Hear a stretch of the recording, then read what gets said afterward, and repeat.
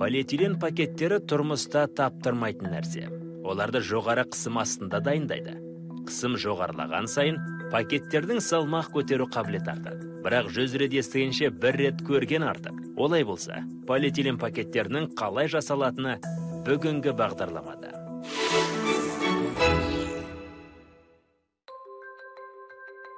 Полиэтилен пакеттері мына шикізаттан дайындалады. Бұл төменгі қысым пакеттері түйіршіктері.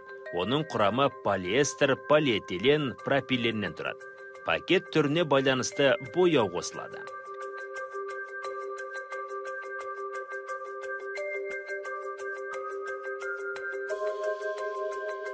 Шикізат жоғары температурада 240 градус астында балқытылады.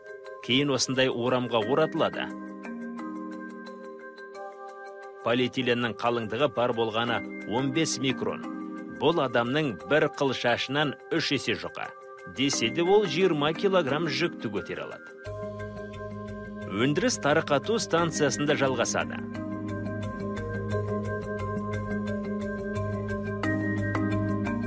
Полиэтилен бір із бойымен бояуға жіберіледі.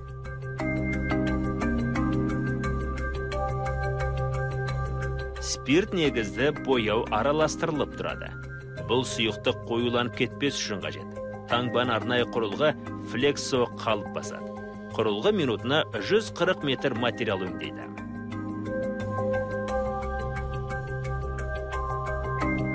Ендігі кезекте материал кептіру бөлімінен өтеді. Бұл жердегі температура 34 градусқа тең. Таңба басылғаннан кейін материал қайта оралады. Шикізаттың түрі салмағы тапсырыс берушінің нөмірі көрсетілген зат таңба жабыстырылады. Мұндай орамның салмағы 180 килограмм. Одан 35 мың пакет дайындауға болады. Орам дайын болғаннан кейін одан пакеттерді жасай беруге болады.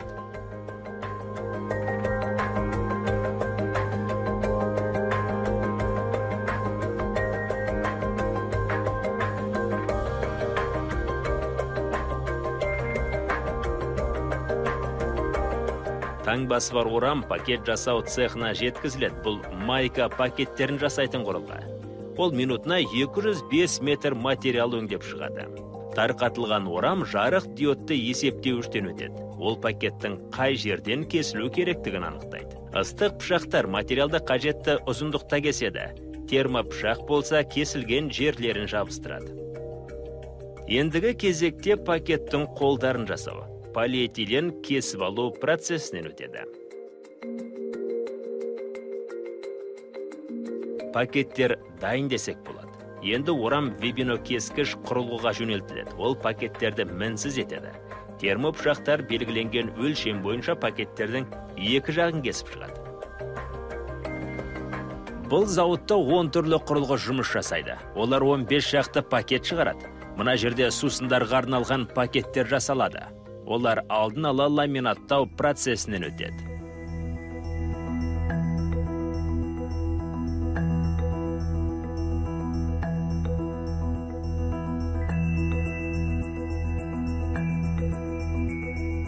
Ал мұнда тамақ түрлеріне арналған қаптар дайындалады. Мұны басқаша стрейч қабықша деп атайды.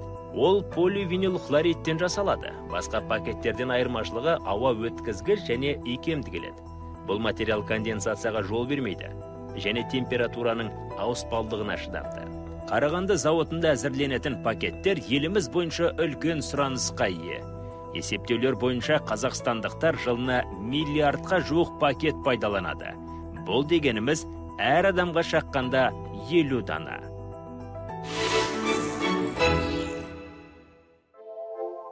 Қазақстан нарығы аяқ киімдердің түр түріне толып тұр италия ресей қытай қазақстан аяқ киімдері. Қазақстандық аяқ киімдердің артықшылығы сапасында ғана емес оларды жасау барысында жергілікті климат ескерілетіндігінде. Ал мұндай аяқ киімдердің қалай жасалатынын келесі бағдарламадан көре аласыздар.